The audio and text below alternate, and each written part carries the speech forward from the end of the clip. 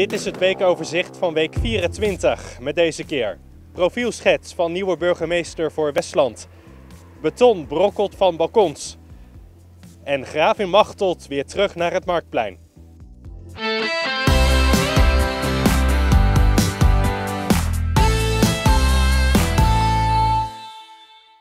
Er is weer een flinke stap gezet in de zoektocht naar een nieuwe burgemeester voor Westland. Er is nu een profielschets. En daarin staan de uitkomsten van een enquête onder Westlanders. Er zijn werkstukken van scholieren in opgenomen. En ook de wensen van fractievoorzitters staan erin. Jaap Smit, de commissaris van de Koning in Zuid-Holland, nam de profielschets dinsdagavond in ontvangst. Hij gaat de gesprekken leiden met sollicitanten en koppelt deze gesprekken terug aan de gemeenteraad. Die zal uiteindelijk de juiste man of vrouw voor Westland voordragen. De Westlanders willen een integere, verbindende, daadkrachtige en communicatieve burgemeester met een groot empathisch vermogen. De commissaris van de Koning had na het lezen van de profielschets nog wel wat vragen. Als ik nou eens vraag, ik wil iets weten over uh, de bestuurscultuur hier. Hoe komt u met elkaar tot besluiten? De waarnemend burgemeester is gewoon op dat punt een verademing. Dus één man of vrouw die bepaalt uh, of het net fout of net goed gaat. En als het net fout gaat, dan dreigt het heel snel heel veel fouten te gaan. De nieuwe burgemeester hoeft niet per se een Westlander te zijn, maar wel iemand die bekend is met de Westlandse mentaliteit. Niet lullen, maar poetsen, zei fractieleider Dave van der Meer van LPF Westland. Gerard Keizer van Gemeentebelang Westland pleit voor een burgemeester uit de veiligheidshoek. Want wij ervaren steeds meer dat de veiligheid een heel belangrijk onderwerp gaat worden. Met name tussen de grootmachten Den Haag en Rotterdam in. Als je de verdelingen ziet van capaciteit en, en uh, politiecapaciteit, et cetera, uh, zouden wij graag zien dat het een kandidaat is uit de veiligheidshoek. De opmerking van Peter Duizens dat de nieuwe burgemeester niet iemand uit de baantjescarousel mag zijn, viel bij de commissaris verkeerd.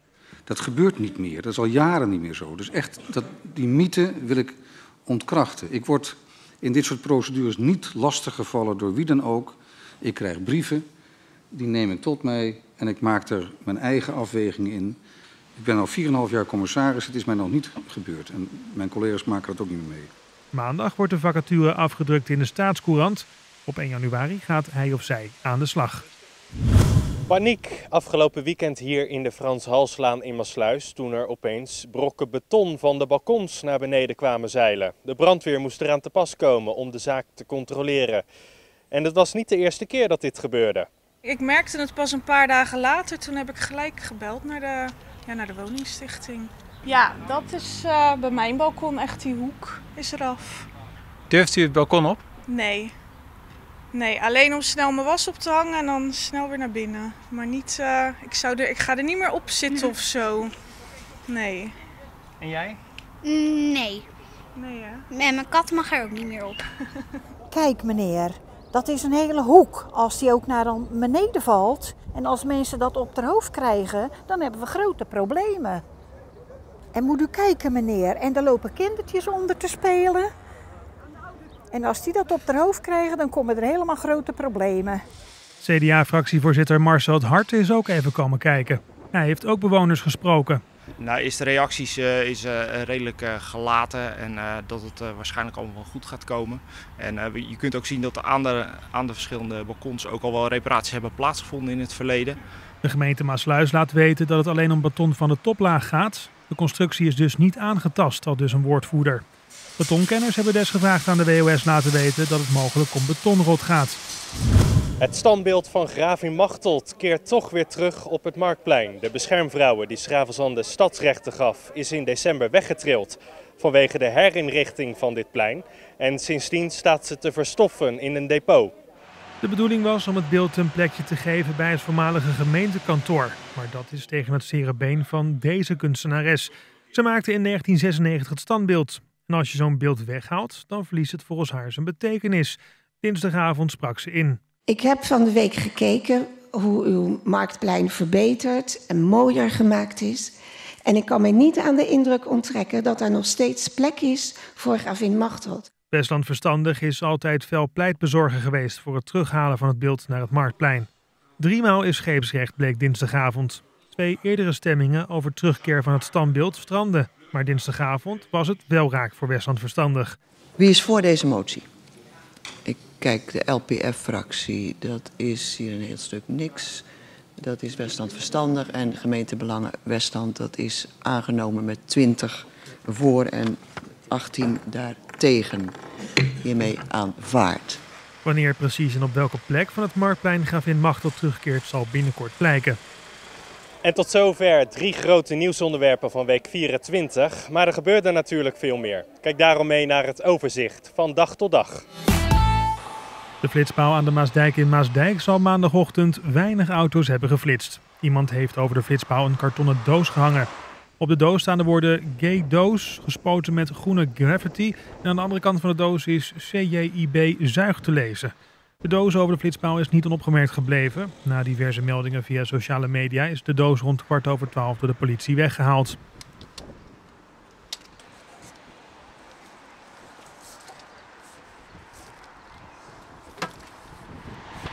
De politie nam de actie sportief op. Kunt u daarom lachen, meneer? Ja, natuurlijk. Een mooie melding. De flitspaal legt de overheid geen windeieren. In 2017 heeft de paal 6400 keer geflitst. Binnen enkele minuten was de politie weer vertrokken en was alles weer bij het oude.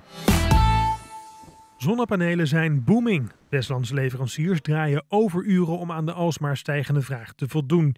In 2017 steeg het geïnstalleerde zonnestroomvermogen in Nederland met ruim 60% ten opzichte van het jaar ervoor. Zo staat in het Nationaal Solar Trendrapport 2018. Ook Solar Energy uit Poeldijk merkt deze groei. Niet alleen particulieren, ook bedrijven laten steeds vaker panelen leggen. Nou, we zijn hier nu bij kwekerij de Zuidbaak in Onselsdijk. Die hebben gebruik gemaakt van eh, de SDE-regeling. Die krijgen dus subsidie voor hun zonnepanelen. Uh, hier liggen er 178, want we zijn natuurlijk Nederland in rap tempo aan het verduurzamen. En dat gaat heel hard met particulieren, maar het gaat nog veel harder met dit soort grote daken. Dus deze hebben we onlangs opgeleverd. Of het rendement van de zonnepanelen net zo goed is als wordt beloofd, weten ze hier in Wateringen. Welkom in de Venenwijk, een van de meest energieke wijken van het Westland. Althans, qua zonnepanelen. In 2013 kreeg de wijk een duurzaamheidsprijs van de gemeente Westland. Veel bewoners stapten over op zonnepanelen en kregen daarvoor subsidie. Nu, vijf jaar later, zijn we terug bij de familie van Bruchem en hebben ze geen spijt gekregen van hun investeringen. Concreet betaalt de familie 600 euro per jaar minder aan elektriciteit. En als je dan kijkt dat de, de aanschaf is ongeveer een 4400 euro geweest. Ja, rente vergeet ik even, want dat krijg je toch niet op je spaarrekening. Dan, uh, dan heb je toch een terugverdientijd van 7,5 jaar. Dick van Bruchem kreeg vijf jaar geleden wisselende reacties. Zelfs ook in de eigen familie. En grappig is dat een aantal van die mensen heb ik toch weten te overtuigen en hebben inmiddels zelf zonnepanelen. Dus uh, ja. De politie is dinsdagavond uren bezig geweest om een verwarde man uit een huis te halen aan de Zwetlaan in Honslersdijk. Nadat onderhandelingen mislukten, werd een arrestatieteam naar binnen gestuurd en is de man overmeesterd. Dat ging gepaard met veel geschil. Volgens omstanders is bij de aanhouding een stroomstootwapen gebruikt. Vervolgens is de man onder begeleiding van de politie naar het ziekenhuis gebracht. Wat er precies met de man aan de hand was, is nog onduidelijk. Personen met verward gedrag die niet verdacht worden van een misdrijf, worden sinds vorig jaar maart door de politie naar GGZ Delftland aan de Sint-Jorisweg in Delft gebracht. Daar worden ze opgevangen, beoordeeld door een arts en krijgen ze de zorg die ze nodig hebben. Even lekker de longen uit je lijf schreeuwen op de kermis. Voor velen de ultieme manier van vermaak en ontspanning. Maar er is ook een grote groep mensen die helemaal niks moet weten van de felle lichtjes en harde geluiden. Om hen toch een plezierige dag te gunnen, wil de gemeenteraad van Westland een proef doen met prikkelarme uren op de Westlandse kermis. In Den Haag is eerder zo'n prikkelarme kermis georganiseerd en dat was een groot succes. Waarom dan ook niet in Westland, dacht Westland verstandig. De organisatie achter de kermis in Schravenzande heeft tegenover de WOS al aangegeven daar best aan te willen meewerken. Maar niet iedereen in de raad ziet dat zitten. De VVD vindt niet dat je ambtenaren moet laten bemoeien met de bedrijfsvoering van een kermisexploitant. Ook de ChristenUnie SGP is tegen. Volgens ons zijn er voldoende alternatieven voor prikkelarme omgevingen.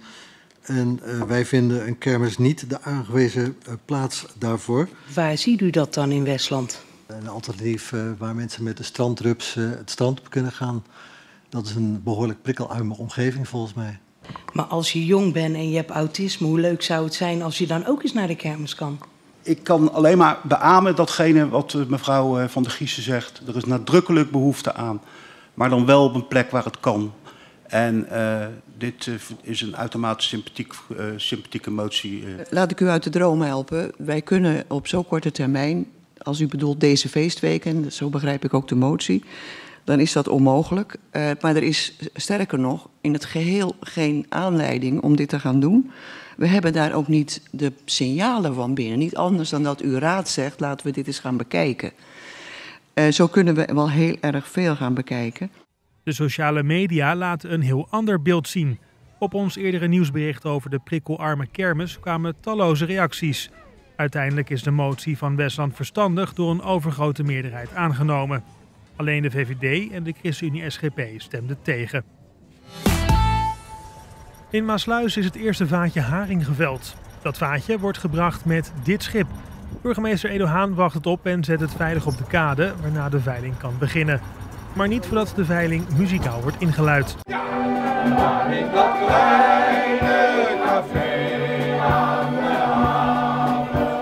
Het is voor het eerst dat er een veiling op deze manier wordt georganiseerd rondom Grand Café Het Hoofd.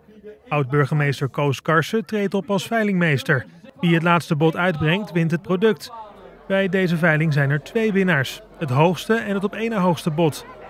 Uiteindelijk brengt het vaatje 5550 euro op. Dat geld gaat naar lokale doelen die door de plaatselijke organiserende club zullen worden toegewezen. Twee ondernemers uit Maasluis boden het meest, maar slechts één van hen kon het vaatje Maasluis Nieuwe daadwerkelijk mee naar huis nemen. Dat werd Ilja Groen. De laatste haringparty is 100 jaar geleden gehouden, maar Ilja vindt dat het weer een jaarlijkse traditie moet worden. Het is elk jaar tijd voor een party, want er is elk jaar nieuwe haring en dat is super lekker. Dus dat uh, moet er gewoon elk jaar zijn. En zeker met zoiets erachter en allemaal mensen die meebieden, dan uh, dat is super leuk.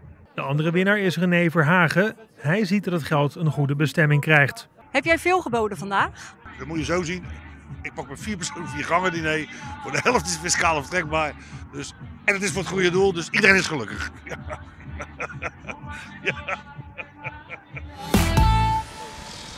De gemeente Westland heeft een groot aantal populieren aan de Verburglaan in Poeldijk omgezaagd. De meters hoge bomen moeten weg omdat de wortels door eerdere graafwerkzaamheden zijn aangetast. Overigens is nog niet duidelijk of er nieuwe bomen op dezelfde plek terugkeren. In de grond is deze week een stroomkabel gevonden die de groei van nieuwe bomen kan dwarsbomen. Wel blijft het uitgangspunt dat voor iedere gekapte boom in de gemeente er twee exemplaren terugkomen. Dat kan dus ook ergens anders zijn. Een compromis in de langslepende soap rondom de feestweek van de Lier. Café Touflors mag tijdens de Braadlier een feesttent op het eigen terrein neerzetten, maar die is veel kleiner dan gehoopt. Toefloor had jarenlang een grote feesttent op het parkeerterrein bij de Jumbo staan, maar daar wil het Oranje Comité van de Lier van af. Dat comité ziet veel meer in een bundeling van alle horecapartijen op het Rangplein bij de Domkerk. Onverteerbaar vindt Hans Blom van Toefloors. Hij is bang voor omzetderving. In de feesttent op het Oranjeplein paste met gemak 2000 man. Nu moet hij het doen met een feesttent op het eigen parkeerterrein voor de deur waar maximaal 500 man in kan. De vergunningsaanvraag voor het plaatsen van de feesttent bij Toefloors moet nog worden ingediend.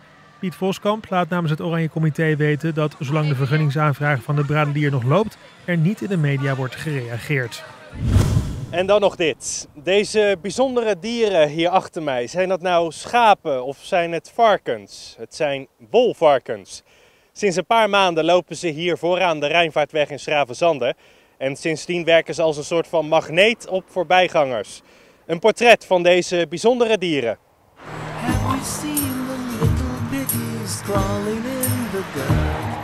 Ik dacht dat, dat een schaap, dat, zei jij. dat er schapen waren. Ja, dat zei je. Ja. ja, dat was zo. Ze zegt dan lopen schapen. Ik zeg nee, dat zijn echt varkens met krullen. Zo.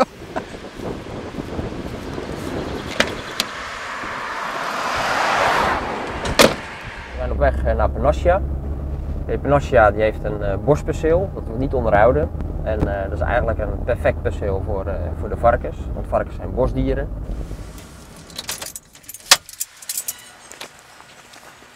Kom! Maar!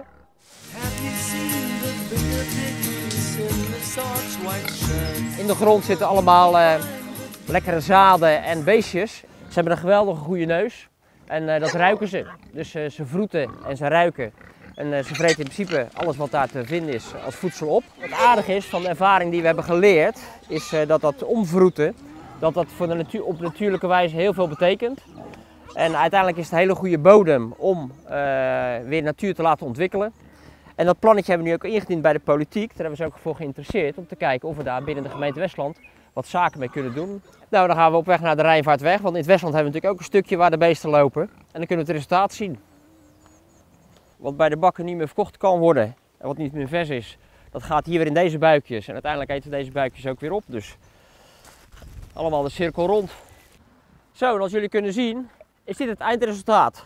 Als je maar even de tijd geeft, dan maken ze dit helemaal kant-en-klaar als, als basis voor een nieuw begin. En tot zover het weekoverzicht van week 24. Meer nieuws kun je vinden op onze website wus.nl.